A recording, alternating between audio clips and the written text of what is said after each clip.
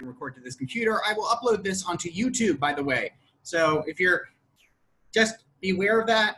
If you're uncomfortable with that, let me know, but this will go on YouTube. I don't monetize anything on YouTube, so there's no ads on anything on YouTube. I use YouTube because I am, because Google has a vested interest in making sure that YouTube is super accessible uh, on basically every single platform. Am I cutting in and out? Okay, time for me to move. Give me one sec.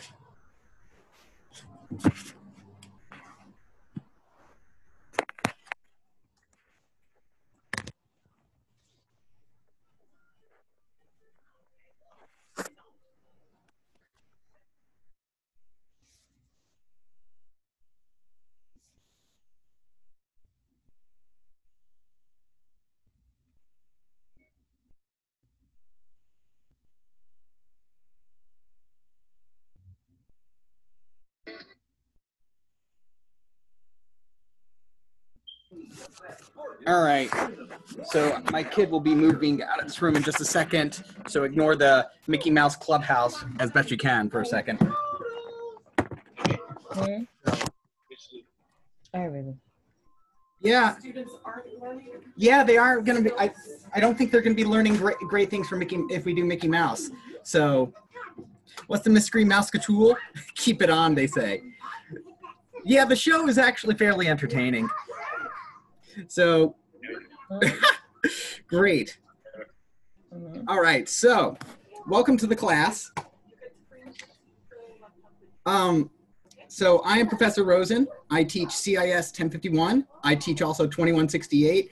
Uh, I am currently at home, which will lead to some entertainment, I am sure, at some various points, uh, because I have a three and a half year old who is very socially starved.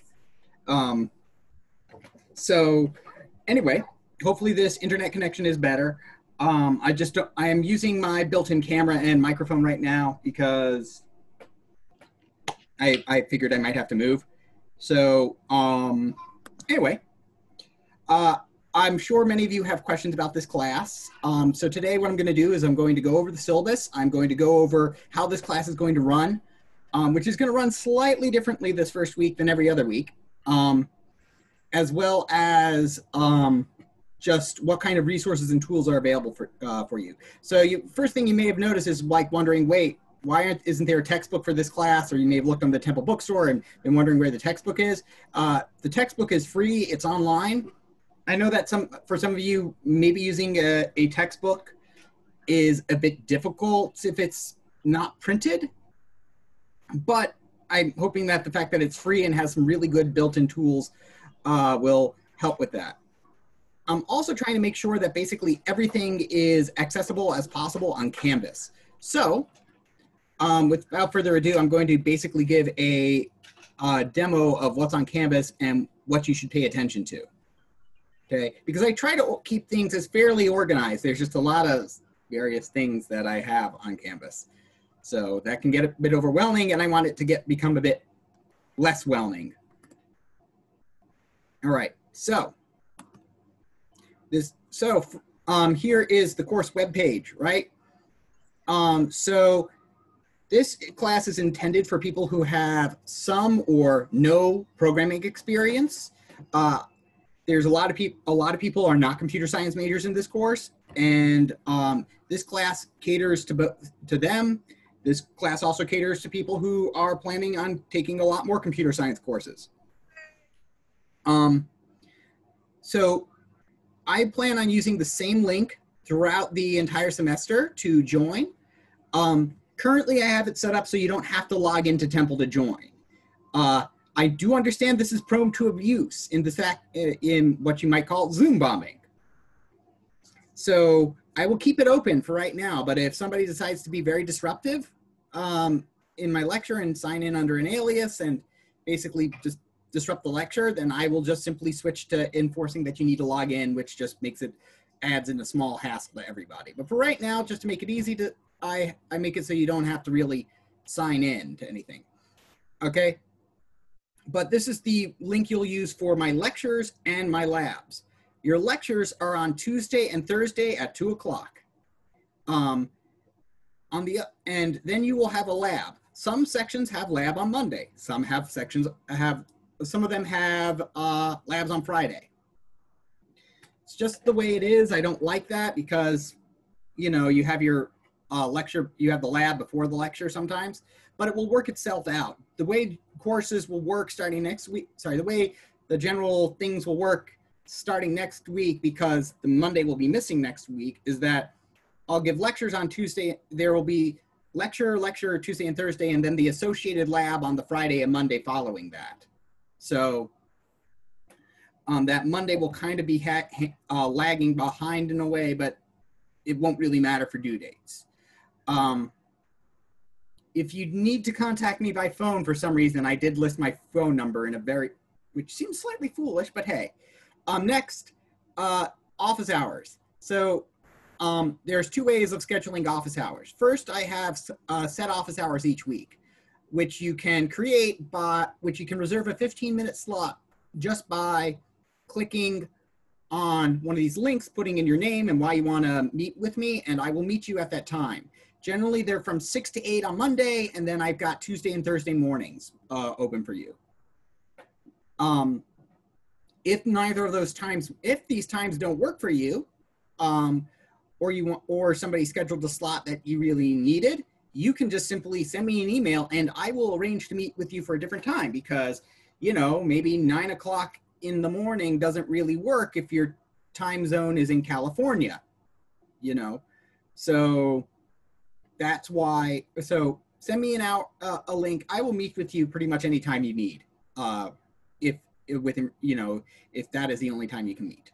Um, the required course materials is a book called Foundations of Python Programming. It's made by a lot of people. Um, hmm. Yeah. All right. Thanks for the um, thanks for the feed feedback on whether or not you can hear me or not. So, uh, I will be. I mean, but that's part of the reason I'm recording. I don't know why it's necessarily uh, having issues. So, um, so anyway, with the, here's how you get into the textbook. What you want to do is click here. And this is uh, the website for the textbook. It's completely free. You create a username and a password to sign. What you want to do is you want to sign up, create a username, put in your real name so that I here for first name and last name so I can actually figure out uh, who, um, you know, uh, who I'm supposed to assign the grade to, essentially. Um, and then for the course name, you'll want to put in this code, Fall 2020 Rosen. All right? And then that will log you into the textbook. Uh, we will be utilizing the textbook for an in-class um, exercise on Thursday. Um, but the textbook is one of the things that you'll be do uh, you'll be using a lot because it has a lot of nifty features, such as being able to run code and watch how co a code runs. Um, if Zoom continues to have problems, by the way, for everybody, I will I can always transition to using Google Meet, um, which basically works the same way. I send you a link and you click on it. Um, but but yeah, Zoom has been having issues. Ostensibly, they are okay right now, but ostensibly. Um, next, other links. Discord invite, right? We have a Discord. The class has a Discord. Uh, this is a invite. Click on it. It's essentially a giant chat room for uh, students have for all the students who are currently taking my classes. So um, it's a great resource to get help and get your questions answered. Um, I will also typically respond very quickly on Discord. Um, as opposed to email, which I check only a couple times a day. And the reason just happens to be it's like the difference between a chat message and an email. Chat messages are just feel a lot faster and a lot more fluid to respond to. Plus, I can always respond with a GIF. So, you know, there's that. Um, next is my YouTube channel, um, which I don't need you to like me or subscribe me or, or donate to my Patreon. You know, this is again simply for your convenience, I upload it there because YouTube I know works. Um, and finally, GitHub, where you'll, uh, GitHub is something you should become familiar with as we go on. Uh, but basically, all the code I will write will go into this ITP, Intro to Python, folder. Um, so I will give you a, so all the code will go into that folder and you'll be able to find the code there and it will get updated. Um, here's your TAs with your, with the respective uh, sections. So, um, and the respective Zoom links.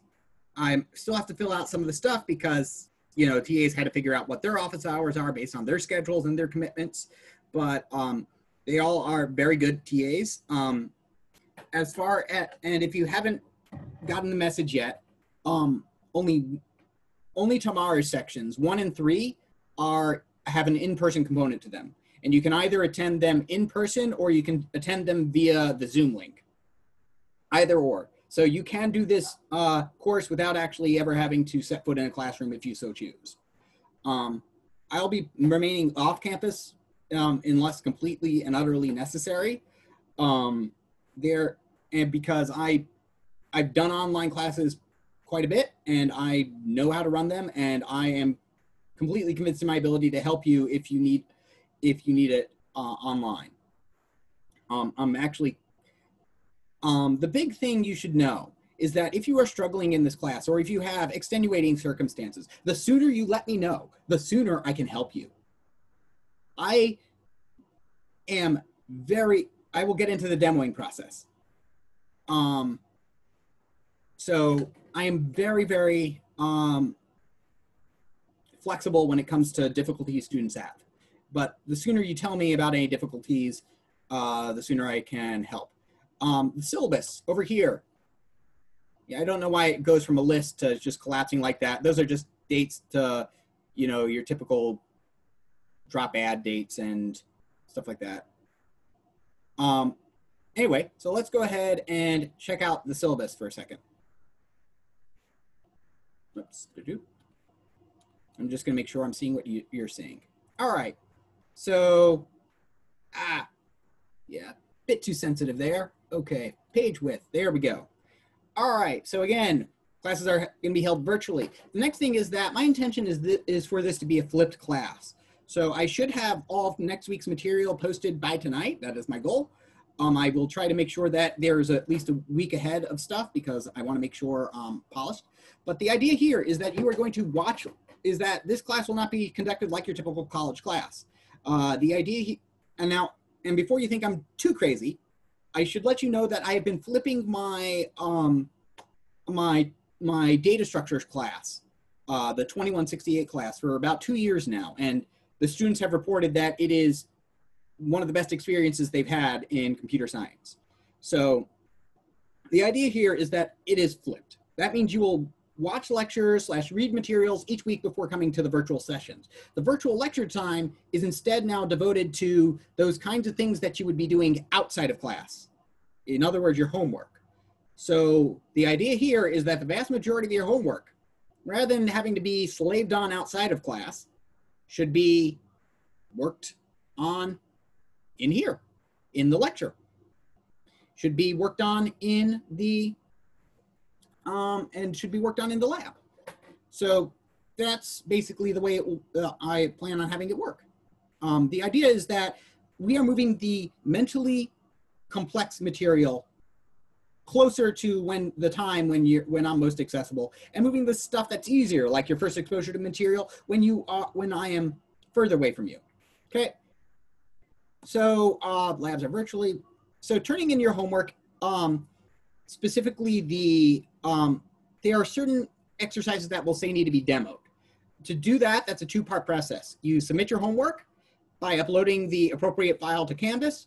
It's judged late based on the day it's submitted and not demoed. And then demo it, you just show it to us during lab or office hours or after the lecture. And that's how you get a grade for it. Um, do not tell me I did not know we need to demo our assignment to receive the course. I will give you an automatic zero in the course if you do so. That is like the only way to receive an automatic zero in the course. Um, by saying, I did not know we need to demo our assignments to receive credit. Because if you couldn't read this first page of instructions for how the class is run, like I can understand like, oh, this is a giant document. I don't want to read the whole thing. But I've got this thing called executive summary over here So you should read it. But um, but not reading directions can have very lethal consequences in programming once you're building stuff that can, you know, affect the real world and break. Um, so again, here's the, uh, the textbook link. And if you're in an in-person lab, you need to wear a mask. Uh, otherwise, we will just simply suspend the lab and, you know, not continue with it because I'm not going to put other class members and my TA at risk. Um, um, you know, maybe, and I don't know, maybe you should wear your mask to to these online lectures just so your computer doesn't get a virus. You know, just just saying. What? No laughs. Um, you can, yeah, you demo it to uh, either the, uh, you demo it to either me or to the TA. All right. Um, you found the you found the place in um, here. Here's the listing for these. Bell Building is the tech center. That's right by the College of Science and Technology, right? Then you go to the, then right next to the College of Science and Technology is the underpass that leads to the trains and the commuter lounge. Right next to that is a bunch of, you know, restaurant stalls. And right next to that is the College of Science, uh, sorry, is the tech center, the Bell Building. So that's where those labs are. Okay. Um, and as you've probably heard, once we hit uh, November, we stop. Um, basically, it's everything is remote. So um, a laptop is strongly recommended. Um, if you cannot afford a computer or have issues with that, please let me know as soon as possible. Please let me know about what kind of situation you're in so I can help accommodate you as quickly as possible. Uh, a, I have an entire document I've been working on that basically here are recommendations for cheap computers. Um, you need, you, I highly recommend headphones um, for chatting with me. You definitely, you don't need a webcam, that's what they say, but, and this is the recommended speeds for, um, for, for your internet. I suggest testing your connection at fast.com, which hits net, Netflix's server. Okay. Um, the mass majority of this will be on Canvas. Um, again, here is the textbook.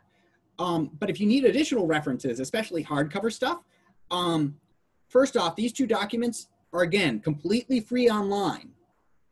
Automate the boring stuff with Python is is made uh, is directed towards people who are who basically are self-teaching themselves in computer science and or programming and don't want to you know and, and basically don't need aren't really necessarily taking a course it's really good. A hard copy is like 20 to 30 bucks, but again, it's all for free online. Same thing with Allen Downey. He runs Green uh, Green Tea Press, and he's very big on basically killing the textbook industry that charges like $200 for a textbook. Um, so uh, he wrote Think Python, How to Think Like a Computer Science. It is a very concise text. I think it's okay. It's definitely free. Um, and again, you want it in paper, it's 2030. These are not things like that I say you need to buy them. You should not have to purchase anything for this class. Um, these are just simply additional kind of resources if you want additional reading. And then Python itself has its own tutorial and documentation.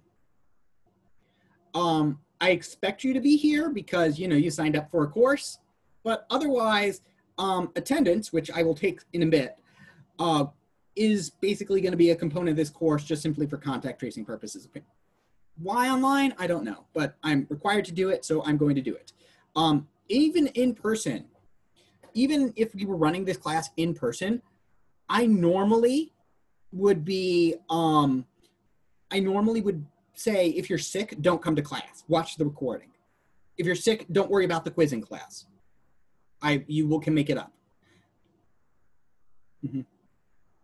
So it's very, it's, you know, it is very important that basically that you stay healthy, even in regular times. Um, and I have always recorded all my lectures and posted them online so that you can view them. You can even view some of the lectures from previous semesters. All right. Um, that being said, if you're in a weird uh, time zone, just tell me. Um, if you are get if you get super stressed, significant stress. Don't we all experience significant stress like right now? Um, changes in mood. Uh, yeah, that's check. Problems eating or sleeping.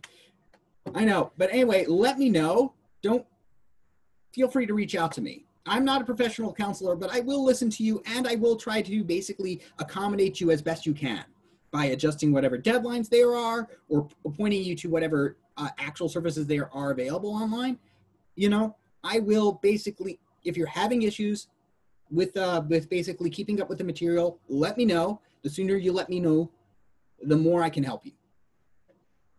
If you need to meet with, uh, if you have a disability, let me know and I will uh, help you with, and, and I will, sorry, if you have a disability, let DRS know and let me know what accommodations you need and I will work to make that uh, happen for you. Okay. Uh, so the grading for this course is normally this course has like a heavy exam component and I've from previous semesters I found that just doesn't really work as well uh, or rather from last semester I found that doesn't work as well so I'm trying com something completely different.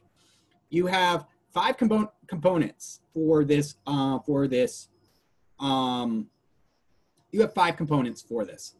So you have your solo exercises, you have your active learning exercises, final project, quizzes, and exam. So, solo exercises, those are basically the textbook exercises. The big thing there is that basically you do some exercises on the textbook. Um, they're linked in the module. So generally like, uh, say if we go over to the modules, each module will correspond roughly to a week probably.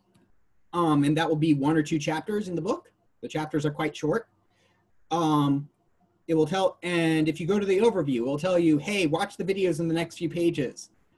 Here's the reading that you need to do. Um, here's the assignments that are going to be that we're assigning this week and all what the things we're going to do in class. Um, if you click on the reading, let me go ahead and sign into my runestone so you can see what what what you would see.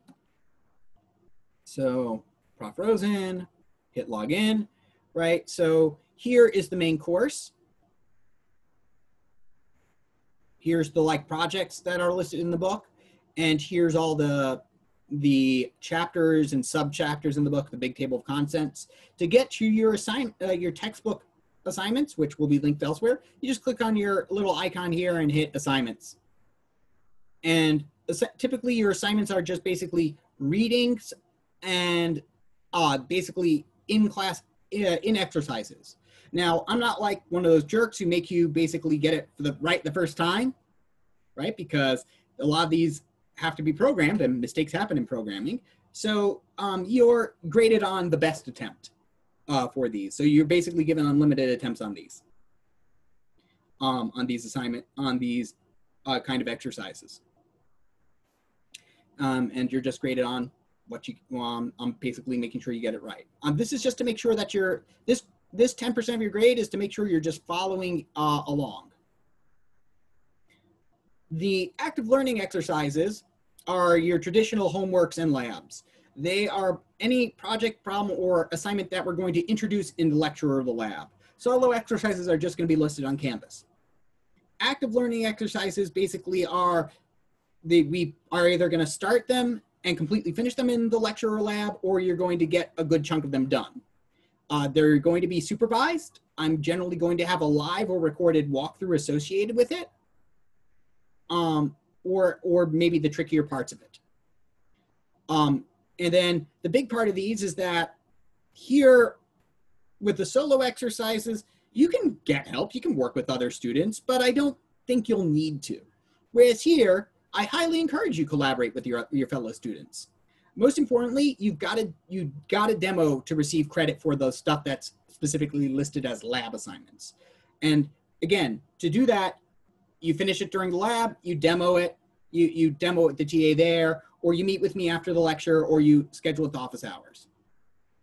Um, the project one, so I see in the chat, I saw the project one active learning exercise, but I don't know how to do it. That's for uh, that Project One Active Learning exercise will be done in class Thursday, so don't worry about it until Thursday. That is something that I'm literally going to walk through with everybody on Thursday because it's a preview of what's to come in this class. Um, finally, the we are going to have a final project, which is going to be a first for this. Um, this is going to be basically you're going to learn a bunch of stuff, and I typically find I have plenty of extra time, and then I figure, what the heck am I going to do? Well, this time I have an idea. I'm going to make you build something. Uh, you can pretty much use any language that you want as long as you let me know. Uh, you can build what you want. Again, you've got to submit a proposal for it.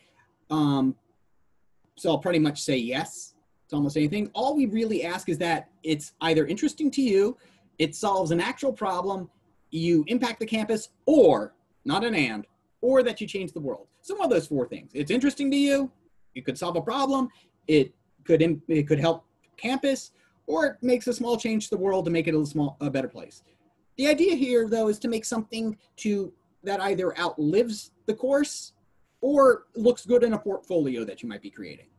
Um, this is definite. So I encourage like group people to work together, but especially in the pro- final project.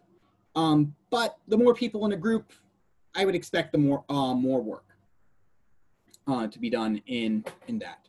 Um, but the big thing here is that I allow and encourage you to double dip for your final project. So if you have a final project in another class, I have no problem with that being the same final project in this course, so long as you get approval from both me and the other professor who's doing the final project. So if you have multiple projects and you see, oh, I could merge these two projects and ostensibly do the same project for both classes, so long as you let me and the other professor know and we both give approval, then I will, I will, um, sorry, I saw like a uh, comment in the chat. I will address that in a second. Okay, multiple people have that question apparently. So what it means to demo is to, um, I realize, yeah, I did not explain that. Okay. So to demo, what that involves is basically you submit your code. That's your first step. The second step is either meet with me or the TA or any of the TAs, in fact. Just because you're in your section doesn't mean you have to meet with your specific TA, but arrange the demo with the TA. And the demo process means you show us your code, you run it, you let us know it works and you walk through it and I will ask you some basic questions, basically to make sure that you understand what you did. That if you worked with somebody else on this, that basically you just didn't simply copy what they said wholesale and without understanding it. I want you, I, basically this is your, this is effectively showing your work. Now this may be nerve wracking for you the first time, um, but that's part of the reason I do this. Um, in computer science interviews, it is very frequent that you have to write code and then explain it as you're doing it. But also, if you can explain it, then you certainly will, it will certainly help you understand it. Um, it is not meant to be a painful process. If you are stumbling over your words and can't really deal it, uh, deal with it at the moment, I will tell you, go away and just come back again when you're ready to demo it. So it's not really there. You you are not gonna. It's you're not going to be graded necessarily on how well you demo it or how poorly you demo it. It's either you could explain it or you didn't explain it and you come back again later when you can. Okay. Um, part of this is that it acts as a basic plagiarism. Uh, sorry, question? Question?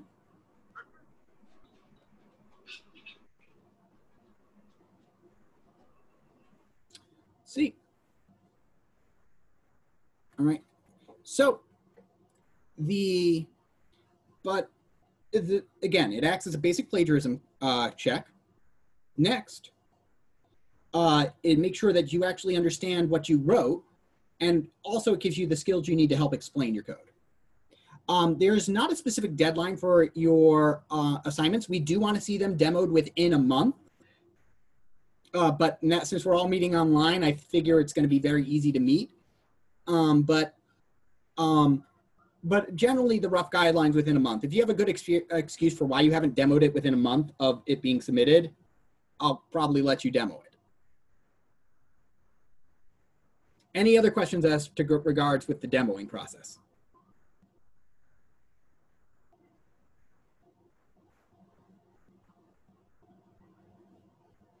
If there are, I'll uh, ask them in the chat, but otherwise I'm going to move. Um, if, the, if what you demo doesn't work, yes, you can resubmit it. In fact, one of the big things about the demoing process is that sometimes there is that often we see students have a minor misunderstanding of, of, of what we of what we intended. And so we can tell them and then you can fix it. And, and they can fix it like right there. And then that's the correction. And yes, you can schedule the demo uh, for office hours. Or you can just send me an email if the time doesn't work, or you can send your TA an email, or you can demo after the lecture. Uh, yes, you can demo more than one lab if you have them done. Okay. And yes, you can demo during your lab time. You can demo during the lab, the lecture, uh, after the lecture, or during office hours. All right. Quizzes and exams. So first, I'm going to say I'm going to mention that uh, I have no plans to do an exam, which is proctored ass assessments. But I might change my mind depending on on whether or not the, how I'm doing this course crashes and burns, right? Right now, I don't plan on doing traditional high stakes, high stress exams. Okay. Uh, quizzes are short assessments. They're not always going to be equal. Uh, some might be worth 100 points. Some some might be worth um, worth uh, 15. I have no plans to use Proctorio, which probably will make me like really popular. So um, the idea here is that quizzes are and exams are open book. You can use anything that and anything and everything that is not human. So the only humans you can ask for help on your quizzes is the TAs and me. Quizzes are basically taken on your own time. Basically, they have a due date, which by, and you want to start it before that due date.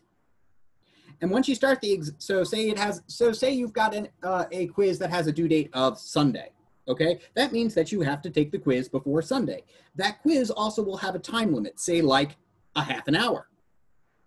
That means that basically the time limit is a half an hour, but it is, as you'll explain, a soft time limit, okay?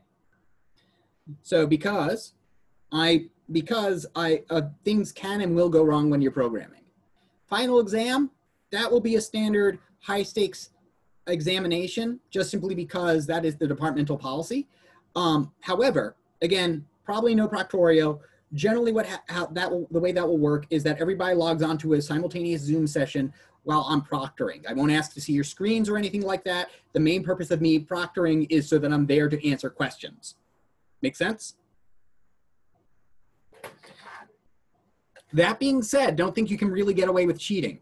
Uh, I should mention that it is not uncommon for, it is not an uncommon assignment for computer science students to write plagiarism detectors.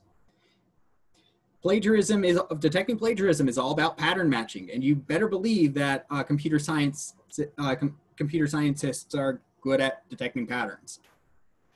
So, my late penalties. I am very good about late penalties. So, the late penalty is that you will that every day that an assignment is late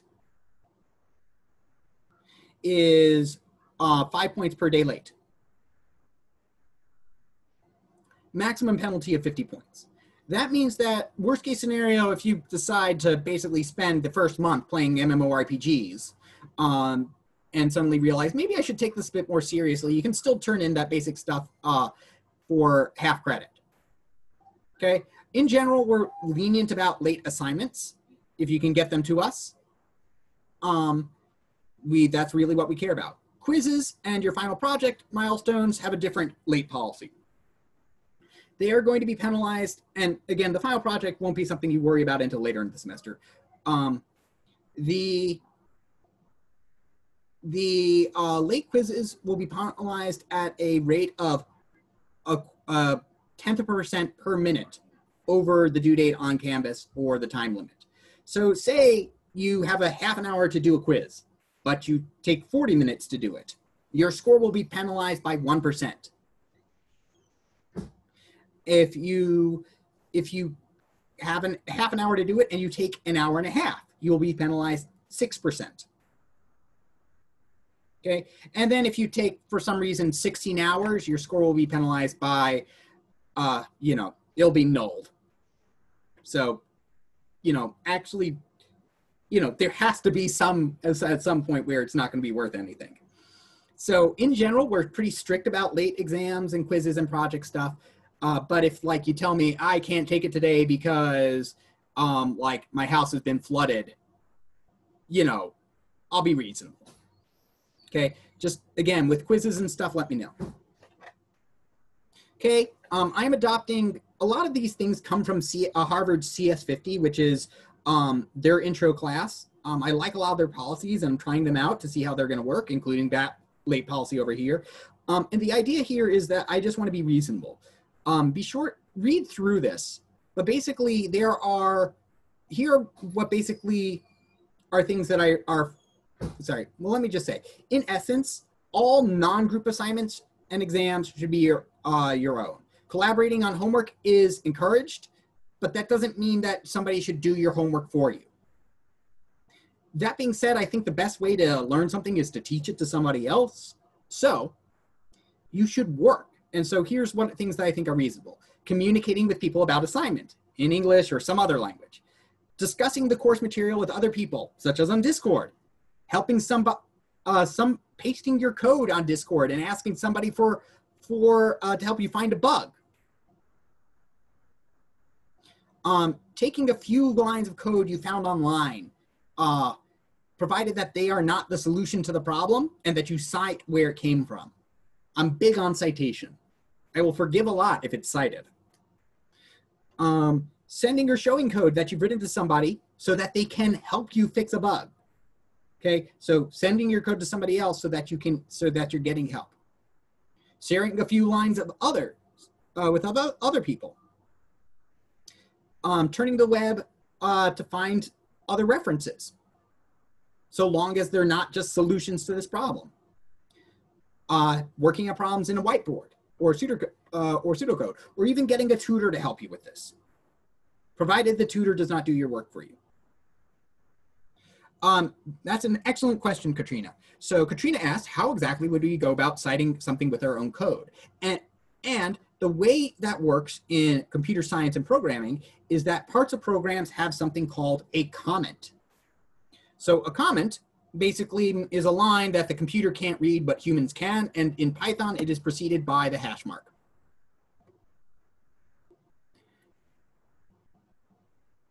Um, I don't see why it wouldn't be, I don't see why that uh, MIT link wouldn't be useful. Um, so things that are not reasonable. Asking, uh, getting a solution, getting a direct solution just online. Uh, basically breaking down some code that somebody else did, seeing somebody else's problem and then using it to uh, before you submit your own, failing to cite where you found something online, uh, giving somebody your your solve problems so that they can solve it themselves, so that they can um, when they are the one who is struggling. So you giving your code to somebody else so that they can complete it. No paying somebody to solve your work for you. Definitely not. Posting on um on on Chegg to ask for the solutions. Definitely not. Looking on Chegg for those solutions. No. Um pretending somebody else's work is yours. No. And submitting somebody else's work uh basically like changing just a couple lines just he, one line here and a line there. No. So um, I, I hope that's clarifying. When in doubt, don't, but you can always ask me. Um, and if for some reason you violate it, let and let me know within uh, 72 hours. I will um, I will let you. I I will be a bit more reasonable about that. Um, can you post your code on a site like Reddit for help? Definitely. you can definitely post your code for help. The main thing is that basically if you are asking for help with your code, you generally, uh, you are allowed to share the particular bit of code you are, uh, the particular bit you're having help with. If you, on the other hand, are basically saying, hey, here's my complete solution, have fun with it, this is how I solved it, that's not how you, um, that's not what you want to do. All right. Questions about the way the course is going to run in general. by the way, you have rights over here. You should probably figure them out. One of the rights is that you are not, is that if you have more than two finals scheduled for the same day, you're allowed to ask one of the professors to move. You should not be able, you should not take more than one, uh, two finals in the same day. So keep that in well, uh, sorry, keep that in mind. Was that final rule last? Was that final rule used last year as well? It's always been, it's always been a rule. I'm really sad that I didn't know that. I am quite sure. um, but yeah, it's one of those things that generally, you know, it's possible to have conflicts. So if there's a conflict, generally let me know. You know, as long as you keep me apprised of like any conflicts or obligations you have, I will be reasonable about it.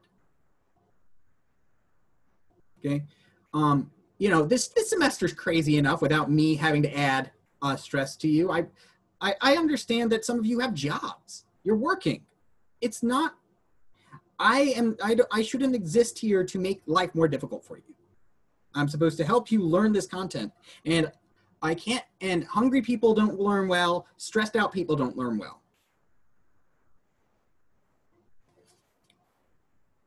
All right. With that being said, this being a science course, I do not let you go just because I'm done with the syllabus. So instead, I'm going to give you a basic overview of, um, of what computer science is and isn't, as well as um, some his, historical information about computer science. But before I do that, I just want to know any questions, because I got to pull up a PDF now an old PDF that's probably slightly out of date, but I'm going to use it anyway because I like it. I mean, there is a group chat. There, the, the Discord. Use, you can use the Discord, um, and that's there. So everybody can ask for help, and I'm there. And believe it or not, I am also on Reddit. So, although I check my um, my you my one of my users names is Andrew underscore Rosen, but it is but that's the one I use uh, quote unquote officially. So let's see.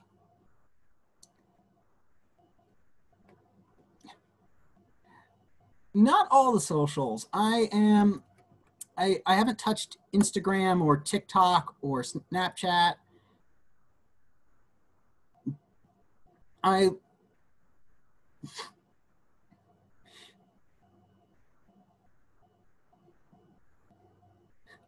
I did not have a MySpace, no. All right. So let's see. I'm just pulling up the one here.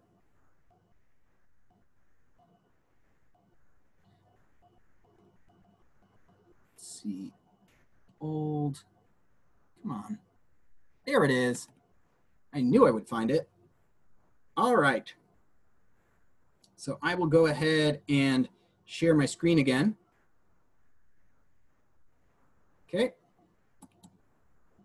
All right, so first thing we gotta we gotta sort out here is what in the world is computer science? Because um, you might a, a the instinctive uh, the instinctive answer you might have is, oh, it's about computers, right? We're studying computers. And um, th these two fellows, Michael R. Fellows, and Ian Parberry, uh, basically wrote this statement saying computer science is no more about computers than astronomy is about telescope, biology about microscopes, chemistry about beakers and test tubes. It's not about the tools, it's about how we use them and what we do. In fact, computer science in other countries is called informatics not computer science. It's not about the, stu- uh, the study of computers.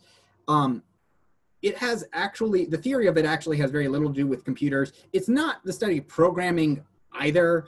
It's an understandable misconception because we get you into computer science by programming. And our first uh, computer science class is often Introduction to Programming. And, pro- well, actually, technically, if you look at, at our title, it is Introduction to Problem Solving and Programming.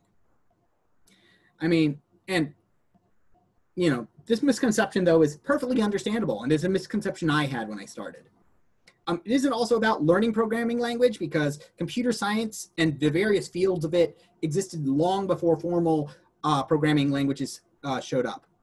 Um, by the time you get your degree, if you're getting a degree in computer science or IS&T, uh, you will be able to pick up new pro- uh, programming languages in a couple of weeks because a lot of the features basically map from one to another. Um, we don't study specific software. We will come up with uh, software to build and formalize it. Um, so um, here, what it is, is a bit of a debate. But there's a couple of what I'll say a not wrong answer. And I would say that the not wrong answer for what computer science is, is computer science is the study of algorithms. Um, it is a science of how we automate problem solving. So it is an extremely, um, I like computer science a whole lot because it's an extremely general field of study that is applicable to basically any field of science you want to go into. So anybody who wants to go into the sciences, that's perfectly fine. Somebody says, I'm still confused, uh, confused about algorithm program. I haven't defined them yet. That's perfectly fine. Um, but computer science studies how we can automate problem solving. It asks really, what? You're done eating the crackers, Laser? And now he leaves the bedroom. All right. It asks, what can we do? Uh, what, right when we get down to it, can be automated? My son's name is Laser, L A Z E R. It is short for Eliezer.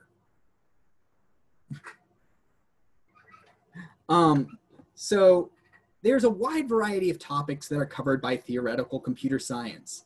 Um, you've got algorithms, data structures, computational complexity, in other words, how tough are problems, figuring out how to distribute problems, uh, figuring out how to do uh, calcu uh, calculations, quantum computing, which I don't even know where to begin, hiding information, um, figuring out what exactly mathematically a computer is.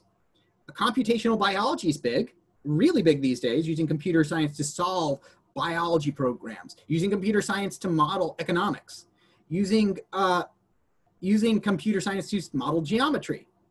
It is a very big field. So computer science studies algorithms, which I have yet to define, to determine if they're correct and efficient. It designs and builds systems that can ex uh, to execute these algorithms. Um, it design you design there's designing programming languages and then there's figuring out what are important problems to solve. So you can do a lot of things with computer science. Um, you can study biology chemistry and medicine. Uh, so do things like figure uh, out to work on uh, algorithms that take samples uh, from people and, and try to detect cancer you can try to detect uh, create new medicine with with these. You can one of the things that uh, that's a common thing brought up is hiv inhibitors. So basically make sure that the uh, the hiv um, does not infect people nearly as well. Here's a very um, very easy one to kind of see which is prosthetics. In other words figuring out you know basically how do i replace missing human parts with machines Okay. Um, physics and astronomy are a big one. Uh, supernova detection. Pretty much all supernovas that are detected in the sky are detected by automatic algorithms these days. Um, there's tons of astronomy data. The Large Synoptic Survey Telescope, I don't know when that was supposed to be able to come online, but it will get 140 terabytes a day. That's a lot. Um, all high-speed training on the on on uh, the stock market these days is run by computers. Pretty much any trading is done automatically by computers these days. Very few people actually like figure, oh, I'm going to figure out how to trade something this amount and because it's going to go up and I'm going to predict that. Yeah, no. Uh, you detect a small dip in the a small fluctuation in the market and then you exploit it.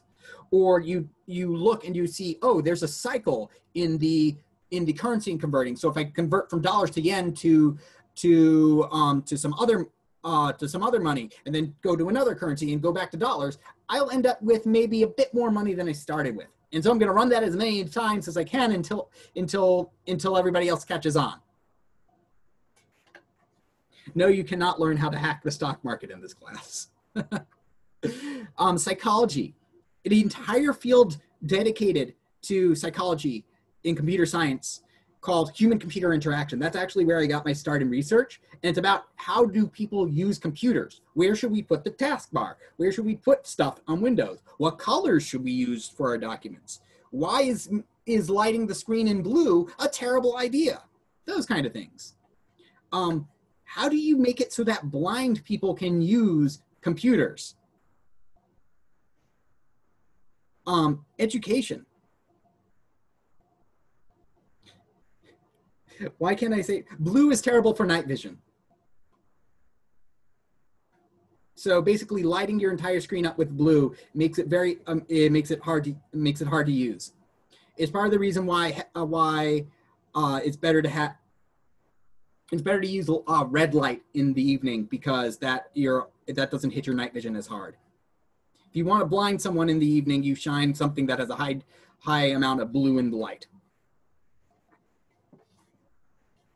So, um, and this is not even getting into the fact that software engineering, networking, security, data analysis is are big parts of uh, things you can do with computer science. So what is an algorithm? The word algorithm comes from the Latin name of Muhammad ibn Musa al-Khwarizmi. He, um, and I don't know if I pronounced that completely correctly, but uh, his name was Latinized to Algorithmiti um, he wrote a textbook in the year 820 called The Concise Book of Calculation by Reduction. Um, that is the that is algebra from al-jabr, meaning reduction. So we get algebra from him. Um, so you can blame him for that, I guess. Um, so um, let's see. Let me go ahead and paste his name so that I can get his Wikipedia article to come up. Control C. Let's see if that comes up. Yay, hey, it worked. Right, so he was a Persian mathematician, very, very famous. Um, but anyway, one of his big things was that he worked with these newfangled uh, numbers coming right out of India that worked in a base 10 uh, base 10 system. So, I mean, mathematics basically is one of those things that has a huge um, history. And computer science is, a, is just a part of that history. Um, but anyway, he worked in this new Indian decimal system. It was translated to Latin in the 1100s, and then it spread to Europe from there. So we get algorithm from his Latinized name. So what is an algorithm? Um, you did algorithms in mathematics, by the way. Anytime you did multiplication or, uh, or, or addition by hand, that was an algorithm, right? So let me go ahead and pull up a whiteboard. Let's see. So let's go ahead and press back. And I guess a blackboard. So let's go ahead and just review addition for a second, right? I don't know what this chat is. blackboard. What? Can only see the PDF still. Um, I'm covering it up because I'm about to go over a very a basic algorithm that you all understand that if you understand. So let's go ahead and see. Um, oh, I need to set it. So settings, active pen off because I don't have my pen on me. So, excuse. Ugh, wait a second. Did I seriously not have my pen? Oh, okay. I'm going to just have to do it ugly in, in, in Notepad. All right, please keep it, you know, reasonable in chat. Please, like, try to reserve chat for questions as best you can. All right, so let's go ahead and say we've got uh, 620, uh, 627 plus, uh, plus 583, right? So we want to add these two numbers together, right? The algorithm, and there's an algorithm for doing that. Let me go ahead and increase the size so that you can actually see what's going on, right? The algorithm that goes on, that's, that, that we use is that we take the ones place, right? And then we add those numbers together. You can't see my notepad? Actually, we can still uh, see the PDF. Interesting. One second. Screen one. Boom. Should you can you see that? Can you see my PDF right now? No, yeah, now we got it. And the notepad? Okay, weird. I must have been sharing the PDF instead of the entire screen. I normally share the entire screen.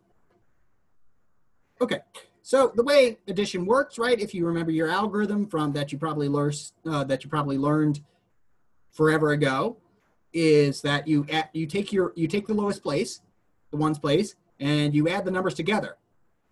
Let's go ahead and add them together. Seven plus three is, I think that's ten. Yeah, that's 10. Pretty sure. And so that becomes 0.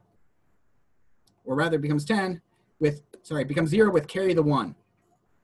So we carry the 1 over here, and then we add the carry and and then the two numbers. So 2 plus 8 plus 1 is 11. So so that so we put 1 down here, we carry the 1, and now we do 1 plus 6 plus 5. So 6 plus 5 is 11, plus 1 is 12. So we put 2 down here, and we carry the 1 over here for a grand total of 1210.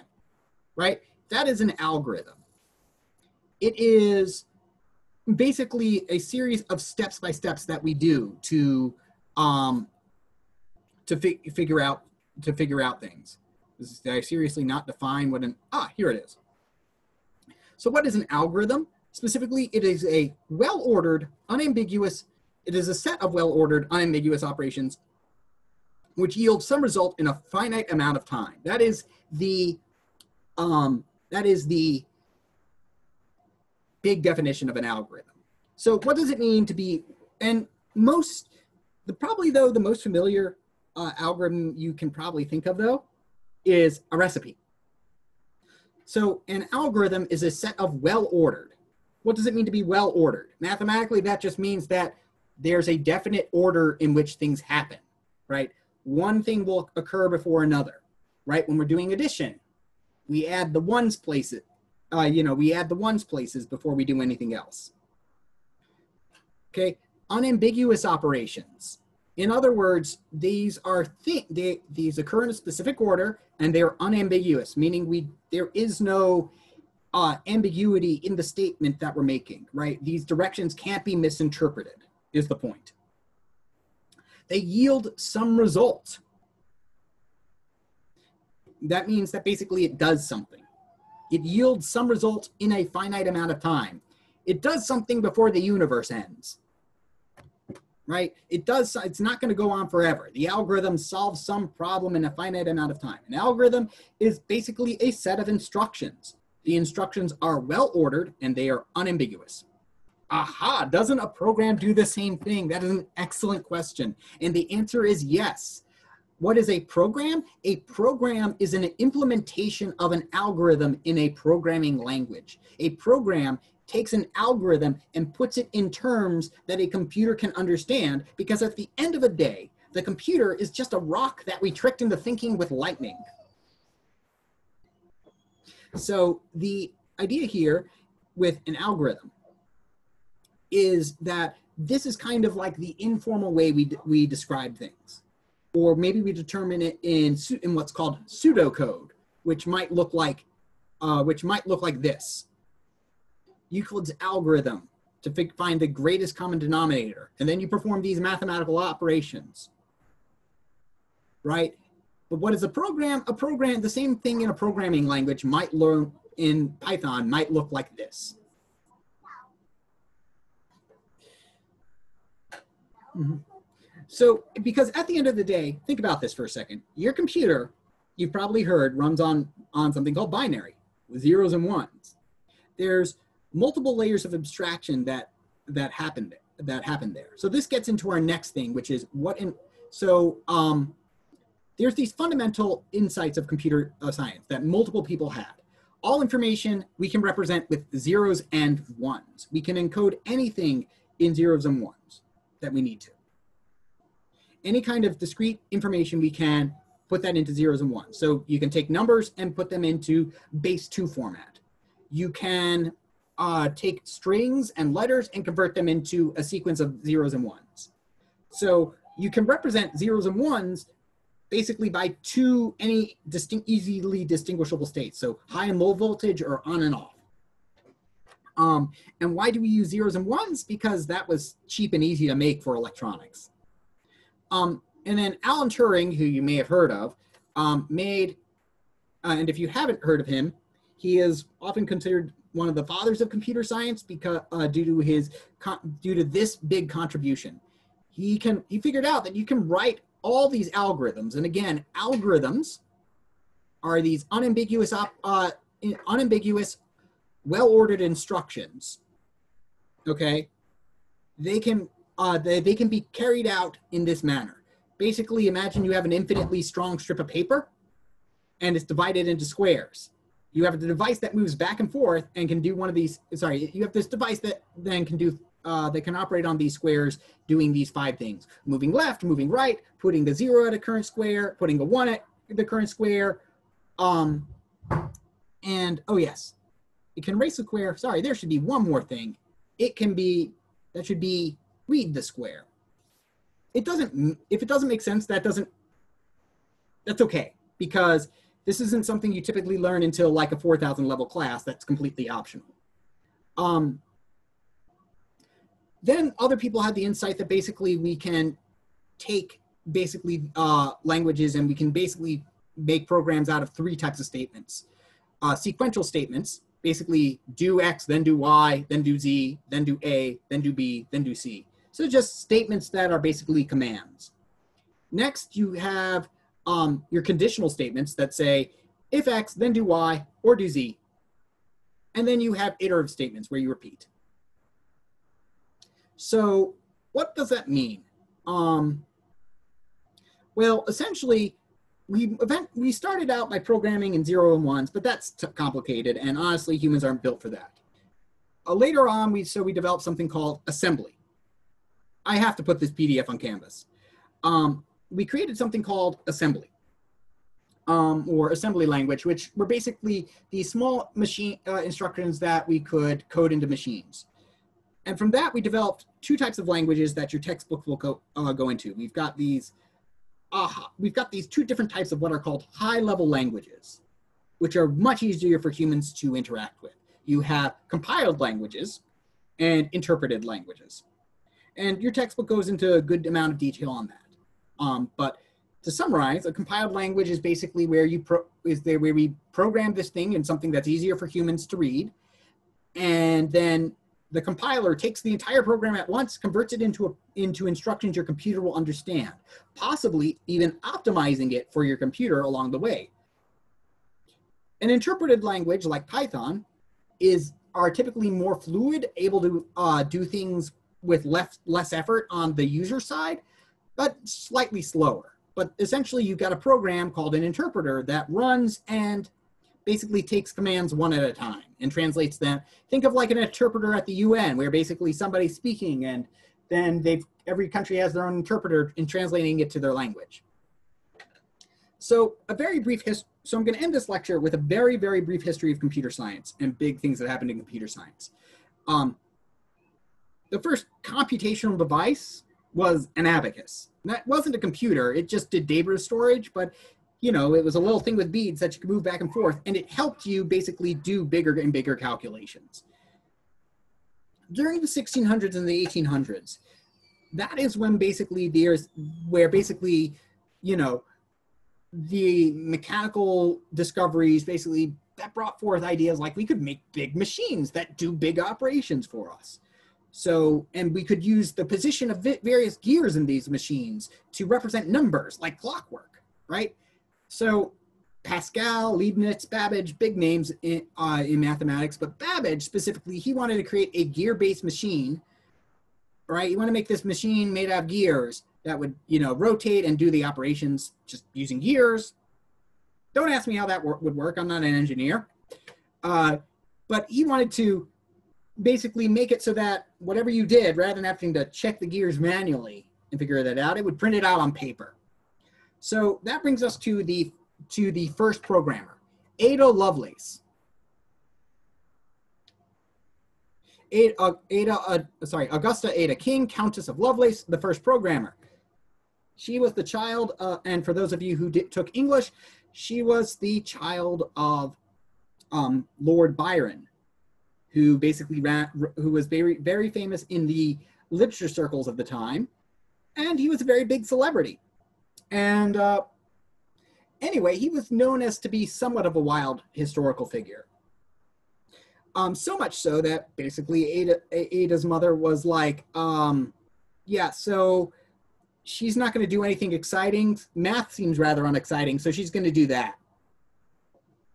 And so her, her history is extremely interesting.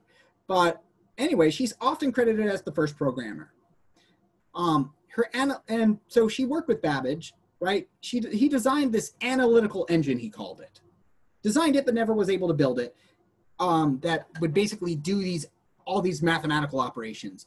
And Ada published a paper and a program showing how you could and some notes showing how you could use this engine to compute what are called Bernoulli numbers, this specific sequence of numbers.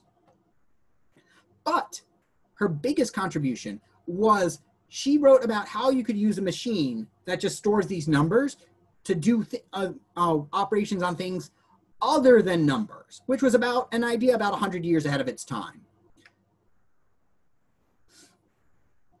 Uh, the biggest jump of where computer science maybe started fracturing itself off from the field of mathematics was during World War II, which was the birth of modern cryptography. Uh, back then, basically, in, we weren't really using machines to encrypt information. Uh, so codes could be solved by hand by people, but after that, it was not really feasible. Um, any intelligence that came out of uh, out of cracking German ciphers was called Ultra, and one of the leaders, uh, at least by the United States. Uh, anything out of cracking the uh, the Japanese ciphers was called Magic. If you had Ultra Magic clearance, you basically were kept very, very safe during the war because you were a valuable asset, a code breaking asset. Alan Turing was one of the was one of the main one of the programmers in Ple- Bletchley Park. Um, the, his role in World War II was dramatized in the in the movie The Imitation Game. Although I should mention that he was a generally much more likable person than the movie portrayed him to be.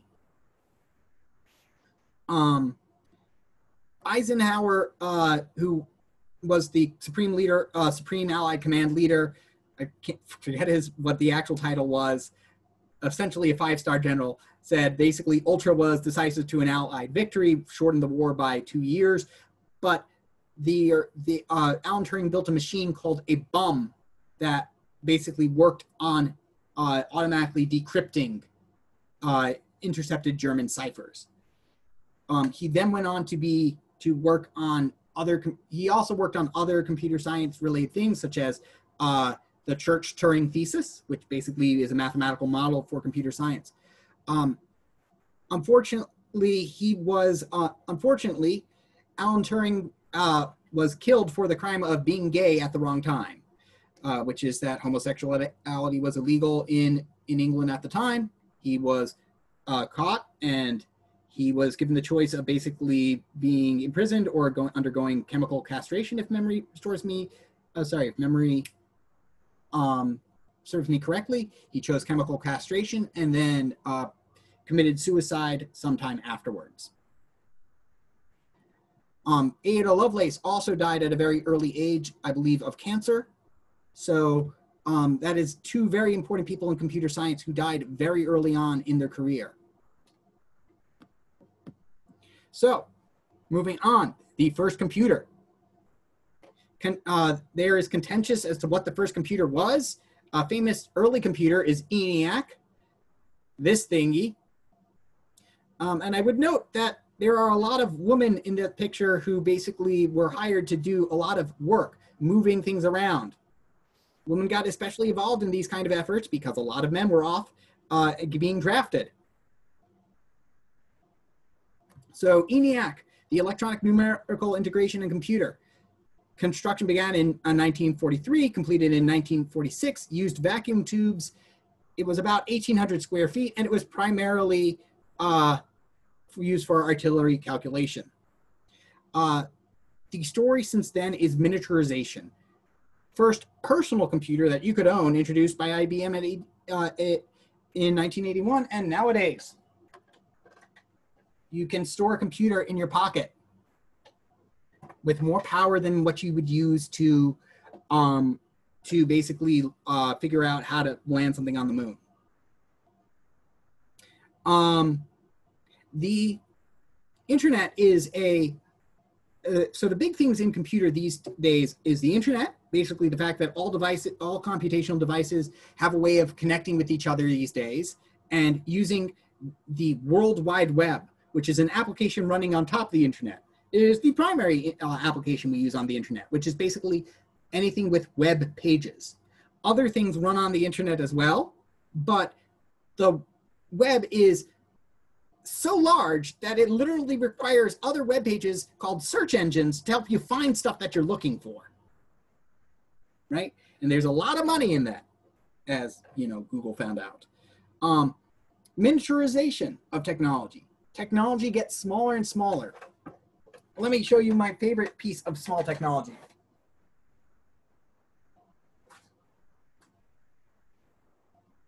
This freaking thing. This freaking thing is one of my favorite pieces of a small technology right over here, a Nintendo Switch. It is, um, and as of like this month, it can run Crysis, which is a game that required like a supercomputer, um, a, like a decade, literally a decade ago. Go. So I mean, things get smaller, and that is huge. And yes, I do have Smash. Um, so, um, but but we can talk about that another time, not during class. So, um, the other big thing is that applications, with things getting smaller, applications also get bigger, such as you want to search every single document on the internet to do something, or you are going to take the entire uh, hundreds and hundreds of terabytes of text to try to teach a computer how to write the next lines of text. Mhm. So, okay, uh, I'm primarily Ganondorf. So, uh, how to become a good programmer? You have to practice. Uh, and you might think, oh, you there are people who are specifically, um, you know, suited to being a programmer, or that like certain people can't be programmers. You can't be a programmer if you're if you're not good at math. So, it is a whole lot of um, just BS in my opinion. The only way you become a good practor, pr- programmer is the way you become a good musician. You practice. Nobody expects you to basically pick up an instrument and be able to play something awesome. Okay? It's, it's just not feasible. You practice to become a good programmer. And not only that, you're probably going to think I'm a terrible programmer for a while. I didn't think I was a good programmer until I think my last year of my PhD. There's a lot of um, of what you'll find is imposter syndrome in pro- in programming. Please keep the game chat to the game channel in Discord. By the way, there's I have a specific channel in the Discord uh, server specifically for um, talking about games. So, the um, best way to become a good programmer is by um, practicing. Uh, the one of the key features of what I find a good programmer, though, is not being smart, not being intelligent. It's being a special sort of lazy. It's the kind of lazy where you're like, I'm going to do this so it's less work later on. Or I'm going to create a template for something so that I can just adjust it for when it comes up again. I'll rather do an hour of work now than a half an hour if that means when I have to do it again, I only have to do it for 10 minutes. Makes sense? Right? It is a, it is, it is a, it is better to work, it is the whole, the good programmers are the ones that we thought, that we say works, um, work smarter, not harder. Those, that's the kind of thing that I think makes a person a good programmer. um, but not necessarily say natural cunning or natural intelligence or being good at math at that kind of stuff. Um, it's people who are dedicated to practicing and honing their skills. They're the people who succeed the most.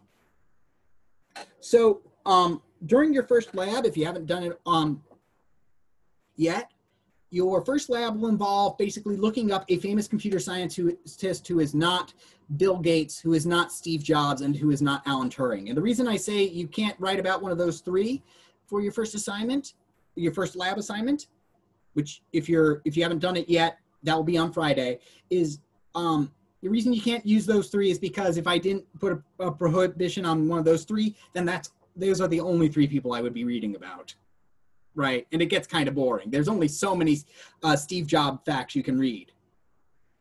Um, um, how do you find a famous computer scientist? I highly recommend Googling famous computer scientists and picking one of the many faces who come up. Um, so with that, it is 319. Um, if for some reason you need to leave class um, beforehand, uh, then do so. I think the I did forget one last crucial thing, which is that we need to take attendance. So attendance works like this. I click on attendance. You go to Canvas. You click on attendance. Okay. Yada da da da da. You're lo to loading your course enroll uh, enrollments. Steve Turing, Alan Jobs. All right. So here I click Start Check-in.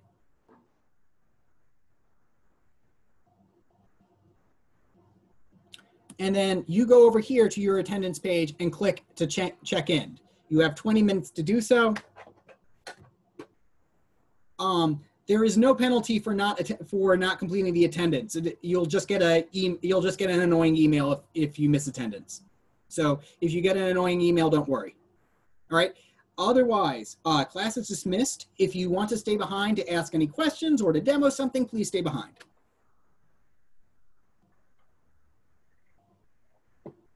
Professor Rosen, when you were talking about the compile language, is uh, this might be a silly question. It's not. I get easily confused. So, is the compile language another way of saying a high level language? Because you said it goes yes. through compile. Most okay. compiled, yeah, compiled languages are generally high level languages.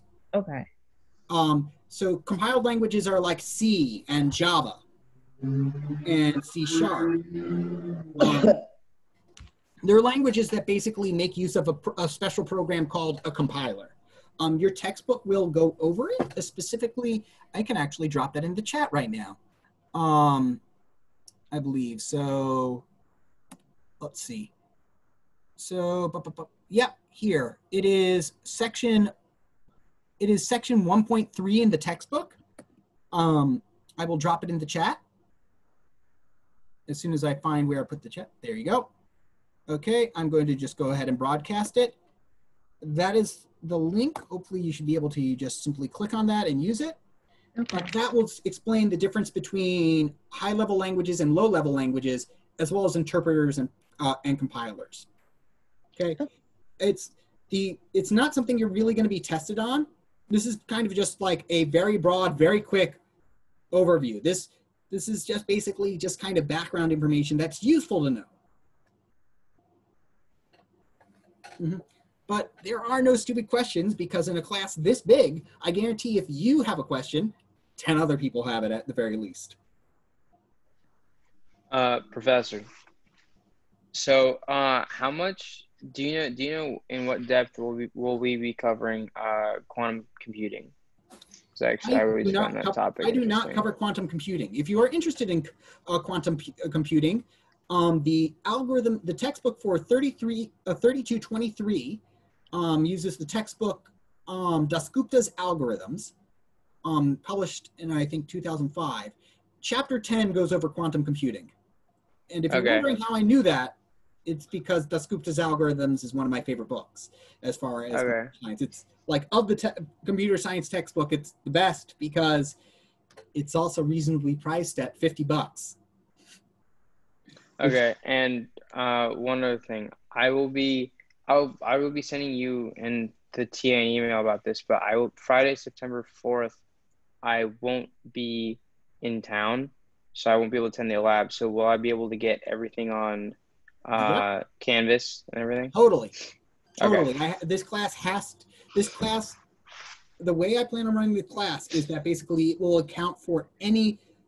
If you- there's any kind of disruption to your normal schedule, then it's not. Then it's completely recoverable. Okay. Thank you so much. I will see you on Thursday, Frank. Sure. Um, Professor, Yes. um, I had a question about the solo exercises. Are those the uh, are those the exercises that we find underneath the assignments tab, or are those the ones that are located? those will be the primarily those will be under the ones under the assignment exercises. I'll try to be better with my naming. I might rename some of the assignments to be uh, to denote what they are, but they'll pretty much be just in the textbook. Okay, because I tried. Is because like are the ones on chapter one the one that says one point twelve?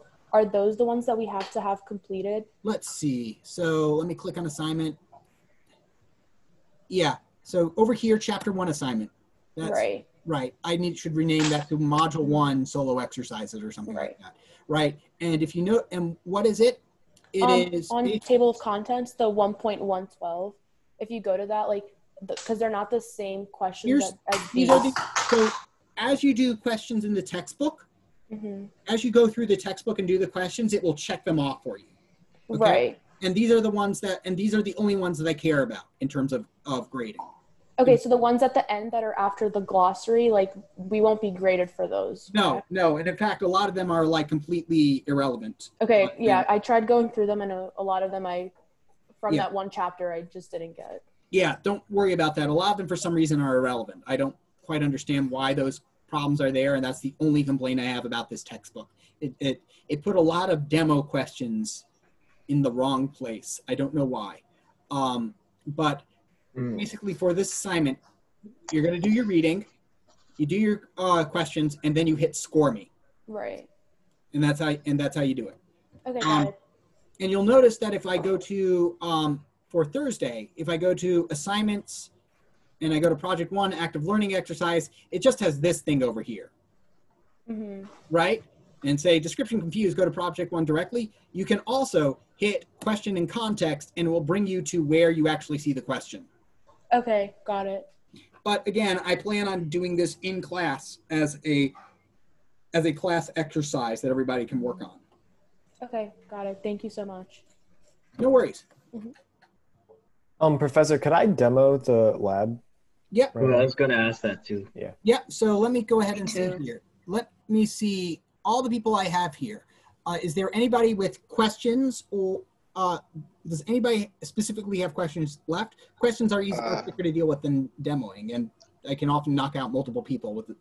Okay, I yes. ahead. have a question real quick. So the demos, we just demo the stuff that we do in the lab and then the assignments on The the assignments will be website or just homework, right? Yep, the assignments should be assignments and stuff we do in the lecture. My goal is to have them auto graded. Okay. So they will automatically grade themselves. Okay. Thank you. Um, Professor? Yes. Uh, hi. So my question was, uh, do we do all the assignments uh, with uh, from our own, like our by our own pace, or like is it by the lecture, like lecture It is by lecture? specifically what I set. The assignments you need to do are specifically the ones I list here uh, under chapter one assignment. And Oh, so oh, anything I list under here, Okay. and but but as you go through the book and do them, I encourage you to work on additional ones. But these are the ones specifically that I care about. All right. But say this is All stuff right, that you already know, like you've taken a Python course. Some people will like Mhm. might want to skip ahead, right? If it's stuff they already know. All right. Okay. Thank you so much. No worries. I had a Yeah, hi. Professor. Oh, sorry. Yeah, go ahead. No, go Okay, ahead. Thank you. Is the uh, chapter one assignment the one that we should have done by lecture on Thursday? Yes. It Yes, says okay. due date. Yeah.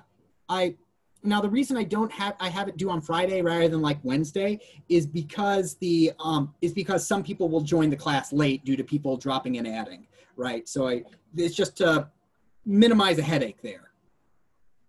Okay, thank you so much. And Rob, I believe you had a question. Yes, yes. Um, yeah, uh, we uh, basically I did go to lab yesterday, and uh, what we did was after the lab was over, we went over what we did. So basically, I, I wasn't sure if that was part of the demo. Like we did show the TA um, what we did. Did you show the TA? Yeah, and we Okay. had um. Then you, if you if you got a grade for it, then it, you demoed it. Oh, okay. No, uh, we didn't get a grade yet. It just says we did submit it, Okay. but it doesn't. Like I just If- checked. if you- it was. It's you- not graded yet. But I, that would be something to address specifically with the TA. If they, if they, de- if you demoed, if you feel like you demoed it to them and should have gotten a grade, then just email them. I mean, the main pu- purpose of the first assignment is just to make sure that Python's working and that you're and that you can write print Oh, okay. statements.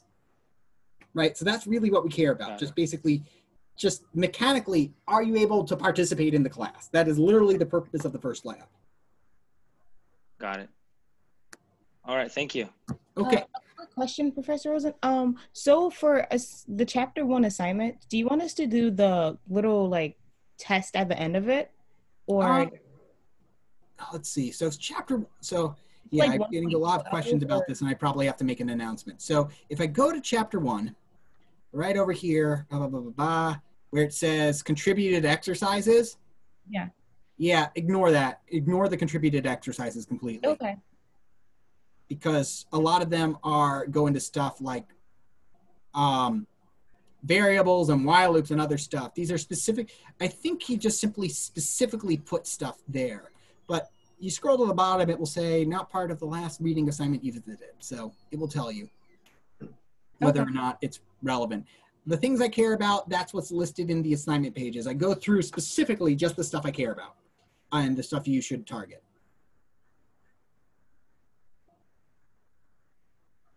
Mhm.